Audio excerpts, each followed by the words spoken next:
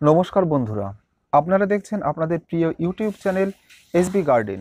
এর আগে আপনারা আমার এই চ্যানেলে জারবেরা গাছ সংক্রান্ত কিছু আলোচনা দেখেছেন। আজ আমি এই জারবেরা গাছের প্রতিস্থাপন কি করে করতে হয় সেই বিষয়ে আপনাদের সাথে আলোচনা করব।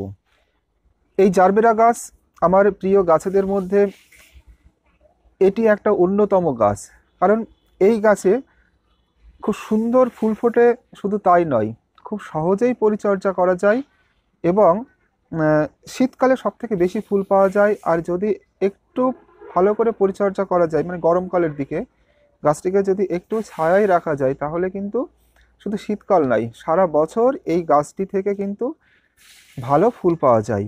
আর আরেকটা জিনিস যে, এই গাছটি যদি আপনারা একবার কেনেন, তাহলে আপনারা চার পাঁচ বছর বা তার বেশি সময় ধরে কিন্তু এই গাছটিকে আপনারা বাঁচিয়ে রাখতে পারবেন এবং সেই সময় ধরে আপনারা অনাবরত এই গাছ থেকে কিন্তু ফুল পেয়ে যাবেন। এই চারবেরা গাছের প্রতিস্থাপন আমি শুরু করছি, আপনারা দেখতে থাকুন। তো প্রতিস্থাপনের প্রথম পর্যায়ে প্রথম যে কাজটি থাকে, এই টপটিকে একটু তৈরি করে নিতে হয়। আপনারা এতদিন জেনে গেছেন যে টপ কীভাবে তৈরি করতে হয়। তবুও আমাদের যে সমস্ত নতুন বাগানিরা আছে, আমি তাদের জন্য এই অংশটি প্রতিটা ভিডিওতে, প্রতিটা গাছ প্রতিস্থাপনের ভিডিওতে আমি একবার করে দেখিয়ে থাকি। তো প্রথমে আমাদের যে কাজটি করতে হবে, একটা খোলামকুচি খোলামকুচি বলতে টপ ভাঙার অংশ। এই ঢেউ খেলানোর দিকটা নিচের দিকে রেখে এই ড্রেনেজ হোলটাকে বন্ধ করে দিতে হবে। আর বাকি যে ড্রেনেজ হোলগুলি আছে, সেগুলো এই একই রকমভাবে বন্ধ করে দিতে হবে। দেওয়ার পরে এর উপরে আপনারা ছোট ছোট পাথর বা নুড়ির দানা এবং তার উপরে একটা বালির স্তর তৈরি করে দিতে পারেন। বা যদি আপনাদের নুড়ি পাথর বা এমনি পাথর যদি না থাকে, তাহলে আপনারা বালির একটা স্তর এর উপরে দিয়ে দেবেন। তাহলে কি হবে? মাটি গিয়ে ওই ড্রেনেজ হোলটাকে আর বন্ধ করতে পারবে না। ড্রেনেজ ব্যবস্থা খুব ভালো হবে। যাতে জল পড়ার সাথে সাথে যে অতিরিক্ত যে জলটা, সেই জলটা যাতে এই ড্রেনেজ হোল দিয়ে বাইরে বেরিয়ে যেতে পারে, সেই রকম একটা ব্যবস্থা তৈরি করে দেওয়া। তো তো এবার আসি মাটির ব্যাপারে। আমরা অন্যান্য গাছ প্রতিস্থাপনের ক্ষেত্রে যেই রকম মাটি ব্যবহার করি জারবেরার ক্ষেত্রে মাটিটা হবে একটু অন্য রকমের। অর্থাৎ এই মাটিতে যে আমরা মাটি ব্যবহার করব, যে পটি মিক্স আমরা ব্যবহার করব, সেখানে মাটি থাকবে ফিফটি থেকে সিক্সটি পারসেন্ট বাকি থার্টি পারসেন্ট থাকবে কম্পোস্ট লিপমোল্ড কম্পোস্ট হলে খুবই ভালো হয়। যদি না থাকে, তাহলে আপনারা কাউডাং কম্পোস্ট বা ভার্মি কম্পোস্ট যে কোনোটাই ব্যবহার করতে পারেন। তাহলে ফিফটি পারসেন্ট আর থার্টি পারসেন্ট টোটাল হলো এইটি পারসেন্ট আর বাকি টোয়েন্টি পারসেন্ট আপনারা চাইলে কোকোপিট মেশাতে পারেন। আর যদি কোকোপিট না থাকে, তাহলে ধানের তুষ বা ধানের চিটা আপনারা এখানে ব্যবহার করতে পারেন। আর যদি আপনাদের কাছে এই দুটো জিনিস কোনোটারই না থাকে, তখন কি করবেন যে সিক্সটি মাটি আর ফর্টি পারসেন্ট কম্পোস্ট এই দুটো উপাদান মিশিয়ে দেবেন।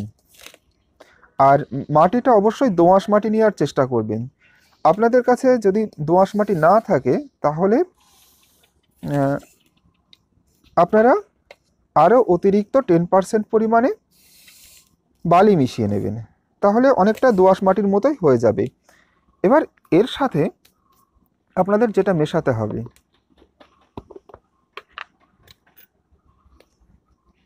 শিংকুচি এক চামচ পরিমাণে আর হাড়গুলো এক চামচ পরিমাণে।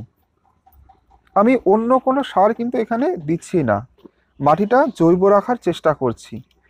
মাটি যদি জৈব থাকে, তাহলে কিন্তু গাছটি দীর্ঘদিন ধরে ভালো থাকবে। আর একটা জিনিস এর সাথে মেশাতে হবে, ফাঙ্গিসাইড। স্যাপ ফাঙ্গিসাইড হতে পারে ব্যাবিস্টিন হতে পারে। এই ধরনের ফাঙ্গিসাইড মাটির সাথে কিছুটা মিশিয়ে নিতে হবে। অল্প একটু। ওই কোয়ার্টার চামচ থেকে হাফ চামচ পরিমাণ এর ভিতরেই। যদি ফাঙ্গিসাইড না মেশানো হয়, তাহলে যে সমস্যাটা হয় যে গাছ প্রতিস্থাপনের সাথে সাথে দেখেন এই যে গাছটি, এ একদম মাটির সংলগ্ন অবস্থায় থাকে। না হলে কি হয়, এই যে গাছের গোড়া থেকে এই গাছটি কিন্তু পচে যেতে পারে। প্রতিস্থাপনের পরে এই সমস্যাটা মূলত হয়। তো সেই কারণে আমরা এখানে ফাঙ্গিসাইড মিশিয়ে নিচ্ছি। মাটিতে কিছুটা ফাঙ্গিসাইড মিশিয়ে নিচ্ছি। এবার মাটিটা ভালো করে মিশিয়ে নিতে হবে।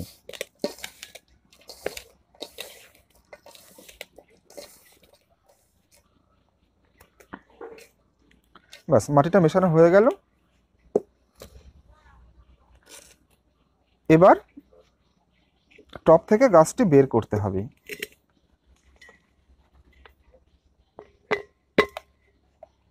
সামান্য ঘা দিলেই গাছটি বেরিয়ে যাবে। আপনারা দেখবেন এই যে জারবেরা গাছ, মূলত টিস্যু কালচারে যে গাছগুলি পাওয়া যায়, সেই গাছগুলি কোকোপিটের উপরে বসানো থাকে। যদি দেখেন যে কোকোপিটের উপরে বসানো আছে, কোকোপিটের পরিমাণ বেশি দেওয়া আছে, তখন কিছুটা মাটি কিন্তু ছেড়ে ফেলতে হবে। কিন্তু আমি দেখছি যে এই মাটিতে মাটি, কম্পোস্ট আর কিছুটা বালি মেশানো আছে, মিশিয়ে মাটিটা তৈরি করা। সুতরাং আমি এই মাটি আর ছেড়ে ফেলছি না।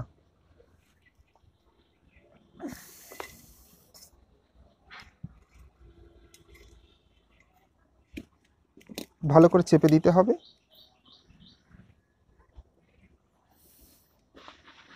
আপনারা যখন জারবেরা লাগাবেন, অবশ্যই আপনারা আট ইঞ্চি সাইজের টপ নির্বাচন করবেন। তাহলে ভালো হবে। কারণ এই আট ইঞ্চি সাইজের পটই জারবেরার ক্ষেত্রে আদর্শ পট।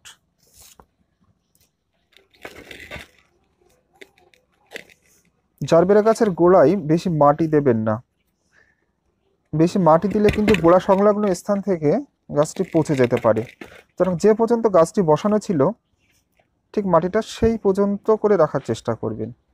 তাহলে গাছটি ভালো থাকবে। এবার প্রতিস্থাপন আমাদের হয়ে গেল।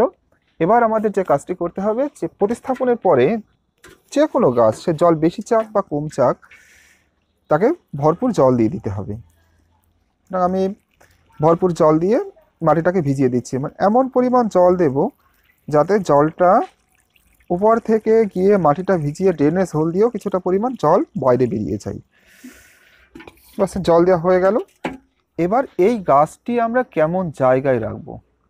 শীতকালে এই গাছটি আপনারা ভরপুর সানলাইটে রাখার চেষ্টা করবেন। যদি আপনারা ব্যালকনিতে রাখতে চান, তাহলে আপনারা এই গাছটি দিনে অন্তত, শীতকালের কথা বলছি, দিনে অন্তত আপনারা দুই থেকে তিন ঘণ্টা রৌদ্র লাগাবেন। আর গরমকালে আপনারা এই গাছটি শেডে রাখবেন। মানে শেড বলতে এমন জায়গা যেখানে সূর্যের আলো পৌঁছাবে, কিন্তু রোদ পৌঁছাবে না। এই রকম জায়গায় আপনারা এই গাছটি রাখবেন। তো খাবারের কথা একটু বলে দিই। এই গাছে আপনারা ভুল করেও শস্যের খোল ভেজানো তরল সার দেবেন না। দিলে কি হবে? এই গোড়া সংলগ্ন স্থান থেকে কিন্তু গাছটি পচে যাবে। তো এই গাছের খাবার কি হবে? এই গাছের খাবার হবে ব্যালান্স এনপিকে। এনপিকে উনিশ উনিশ উনিশ বা এনপিকে কুড়ি কুড়ি কুড়ি। যে কোনো একটা। প্রতি সপ্তাহে একবার করে আপনাদের প্রয়োগ করতে হবে। কীভাবে প্রয়োগ করতে হবে? যে আপনারা দুইভাবে প্রয়োগ করতে পারেন। জলে গুলে মাটিতে প্রয়োগ করতে পারেন বা স্প্রে করে এই গাছের পাতাগুলো ভিজিয়ে দিতে পারেন। যে কোনো একভাবে ব্যবহার করলেই হবে। যদি জলে গুলে দিতে চান, তাহলে প্রতি লিটার জলে তিন থেকে চার গ্রাম পরিমাণে এনপিকে উনিশ উনিশ উনিশ বা এনপিকে কুড়ি কুড়ি কুড়ি জলে গুলে নেবেন। নেয়ার পরে কি করবেন? নিয়ে যেটুকু পরিমাণ জল লাগে সেই জলটুকুই এখানে দিয়ে দেবেন। আমার এক লিটার জল পুরোটাই দিতে হবে, এমন কোনো কথা নেই কিন্তু। আমার এখানে হাফ লিটার জল লাগতে পারে বা আড়াইশো এমএল জল লাগতে পারে, যেটুকু লাগবে।